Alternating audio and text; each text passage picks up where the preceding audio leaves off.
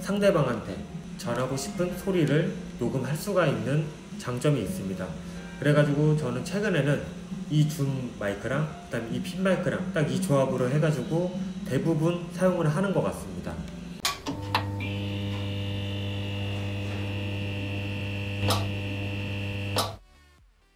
안녕하세요. 진블로그 채널입니다. 오늘은 제목에서 보셨듯이 네, 녹음기에 관해서 리뷰를 뭐 간단하게 해보려고 합니다. 제가 유튜브를 시작하기 전에 어, 소리에 되게 좀 민감하게 좀 제품들을 찾아봤습니다. 그 이유가 뭐냐라고 하면 집에서 좀 촬영하기 애매하다 보니까 밖에서 촬영해야 되는 게 되게 많을 거다라고 생각을 했기 때문입니다. 뭐 밖에서 하면 뭐 공원에서 할 수도 있고 아니면 조용한 카페 아니면 뭐 테라스 카페 좀 이런 것들 위주로 촬영을 해야 되다 보니까 아무래도 좀 소리에 대해서 좀 제 목소리가 잘 들어갈 수 있도록 좀 그런 부분들을 좀 심각하게 고민을 많이 했었습니다. 그래서 제일 먼저 제가 구입한 게 뭐 카메라를 구입하기보다는 마이크 그리고 녹음기 그 다음에 제 목소리를 따로 딸 수 있는 핀 마이크를 구입을 했습니다. 그래서 제가 제일 먼저 로데 마이크를 구입을 해서 리뷰를 했었고 그 리뷰는 이 위에 링크에서 확인을 하실 수가 있을 겁니다. 제가 현재 지금 이 마이크를 사용해 가지고 목소리를 지금 녹음을 하고 있고요. 제가 지금부터는 이 녹음기를 리뷰를 해야 되다 보니까 지금부터는 이 녹음기를 리뷰를 할 것이기 때문에 아이폰 녹음기로 진행을 하도록 하겠습니다. 네, 제가 구입한 제품은 줌의 H1N 제품입니다. 아마도 제가 방금 전에 말했던 것처럼 ASMR 녹음기로 유명한 제품입니다. 유명하다 보니까 그만큼 세부적으로 뭐 조그만 소리부터 큰 소리까지 뭐 단계별로 여기 보시면 네, 이렇게 단계별로 조절을 해가지고 세부적으로 녹음이 가능합니다. 요즘 유튜버들을 보시게 되면 ASMR 할 때는 이거를 많이 사용하는데 일반적으로 뭐 이렇게 말하면서 리뷰를 할 때는 네, 소니에서 이렇게 뭐 다시마 조각이라고 해 그렇게 말을 하더라고요. 그렇게 생긴 소니 녹음기를 사용을 하는 경우도 많이 있습니다. 그런데 저 같은 경우는 좀 여러 가지 방향으로 갈 수도 있기 때문에 혹시 몰라서 이 제품을 구입하게 되었습니다. 간단하게 이거에 대해서 좀 말씀을 드리게 되면 뭐 배터리 같은 경우는 네, 이렇게 A3 배터리를 사용을 하고 있고요. 메모리는 마이크로 SD 메모리 그리고 뭐 이것을 PC로 이동할 때는 네, 마이크로 5핀 마이크로 5핀 USB를 사용을 하고 있습니다. 그리고 이 제품에서 녹음된 파일들을 뭐 확인할 수 있다 보니까 굳이 당장 PC에 연결하지 않아도 내 목소리가 잘 들어갔는지 그런 부분들이 쉽게 확인이 가능합니다. 그리고 제가 개인적으로 이 제품에 대해서 좀 괜찮다라고 생각된 부분이 어떤 것이냐면 여기에 보면 아웃풋이 있습니다. 그래서 내 목소리를 미리 모니터링 해보고 녹음이 가능하고요.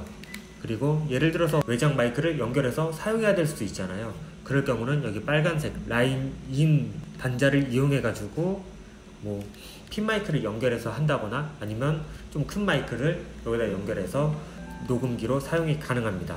아까 전에 제가 녹음이 세부적으로 가능하다라고 했잖아요. 여기에 다시 한번 말씀드리게 되면 10단계로 10단계로 구분 지어 가지고 작은 소리부터 큰 소리까지 네, 녹음이 가능합니다.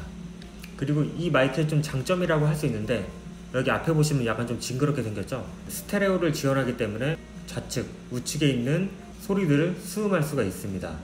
그러다 보니까 아무래도 좀 공간감이 있는 네, 그런 녹음이 가능하고 상대방한테 좀 전달할 때 좀 그런 부분들이 장점으로 이루어지는 것 같습니다.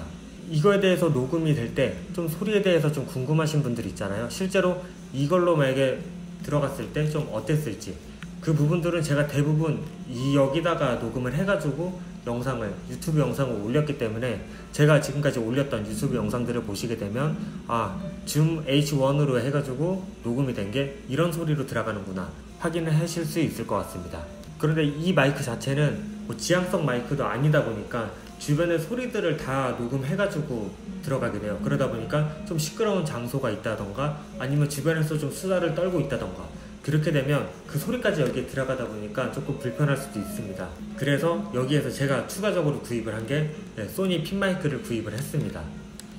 이 제품 모델명은 소니 핀마이크인데 소니의 ECM CS3 제품입니다. 여기도 보시게 되면 네, 스테레오를 지원해가지고 좌측, 우측으로 네, 소리가 따로따로 들어갑니다. 그리고 여기에 고정할 수 있는 클립이 하나 있어가지고 여기에 끼우게 되면 내 목소리 위주로 들어갈 수가 있는데 여기에 추가적으로 감도 조절이 가능하니까 정말 이쪽에서 나오는 소리만 넣어가지고 좀 더 상대방한테 전하고 싶은 소리를 녹음할 수가 있는 장점이 있습니다. 그래가지고 저는 최근에는 이 줌 마이크랑 그다음 이핀 마이크랑 딱 이 조합으로 해가지고 대부분 사용을 하는 것 같습니다.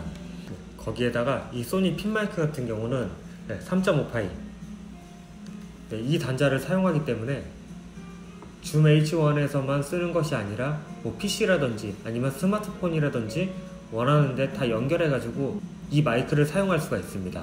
그러다 보니 이렇게 조합을 가지고 있으면 좀 사용할 수 있는 활용도가 좀 높았던 것 같습니다.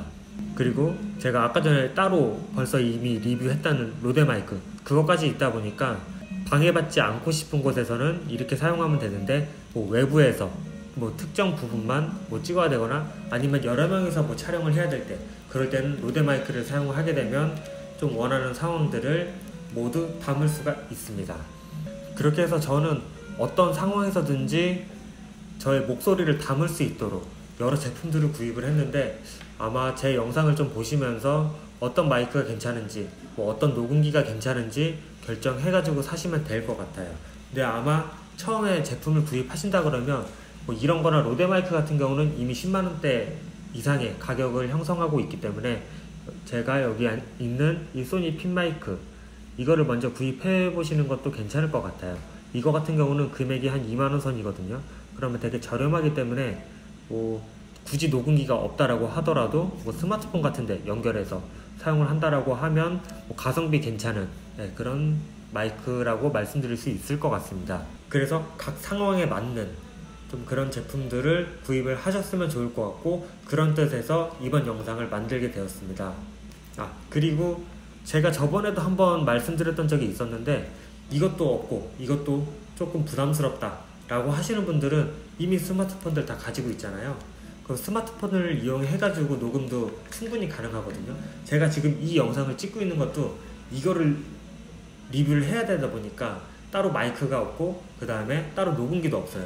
그래서 어떤 걸로 지금 이 목소리를 담고 있냐 여기 있는 네, 스마트폰으로 지금 현재 제 목소리를 녹음을 하고 있습니다. 제가 이렇게 말씀을 드리는 이유는 이 스마트폰 녹음기 뭐 저 같은 경우는 아이폰이니까 음성 메모라고 있죠.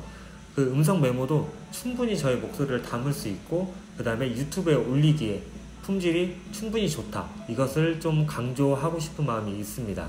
항상 유튜브를 촬영한다라고 하면 뭐 카메라나 아니면 어떤 걸로 뭐 찍어야 되는지 이런 얘기들만 많이 있는데 어 목소리 같은 것들을 어떻게 담을 수 있는지 어떤 제품들이 좀 괜찮은지 좀 그런 것들을 고를 수 있도록 제가 좀 도움이 되셨으면 좋겠습니다.